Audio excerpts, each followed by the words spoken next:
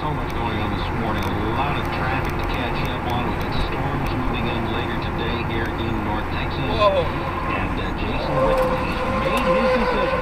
So it's up on JRLD. Hey guys, it's